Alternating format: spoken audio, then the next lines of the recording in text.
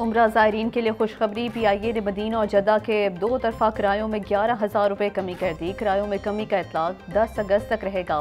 پی آئی اے کا فیصلہ باز سے مدینہ جدہ کا کرایہ ایک لاکھ بارہ ہزار سے کم ہو کر ایک لاکھ آٹھ سو روپے ہو گیا۔